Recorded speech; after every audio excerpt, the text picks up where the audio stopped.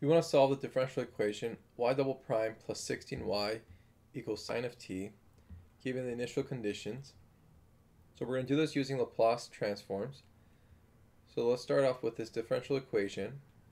We're going to apply Laplace, Laplace transforms both sides of the equation.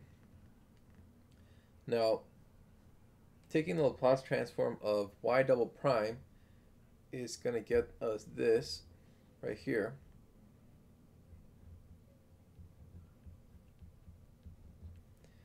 And then this is just 16y.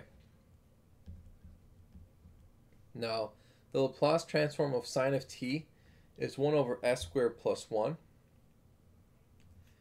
So at this point, we can replace y of 0 as 0.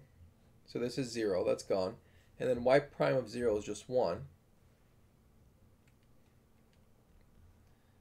Okay, next we can factor out Laplace transform of y of t. And then what we're left with is s squared plus 16.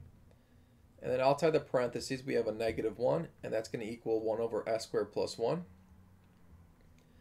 Now, I skipped a couple steps. I added 1 to both sides, and then divided by s squared plus 16. So this no longer is, uh, um, the s squared plus 16 is no longer with the Laplace transform y of t and then we divide it over here to this fraction and then to 1. Finally, we can add these and get Laplace transform is s squared plus 2 over s squared plus 1 over s squared plus 16.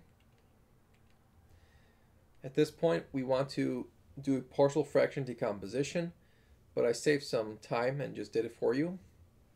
And so our goal is to solve for y of t, which means we have to apply the inverse Laplace transform. And so we get sine of t over 15 plus 7 over 30 times sine of 4t. And this is my answer.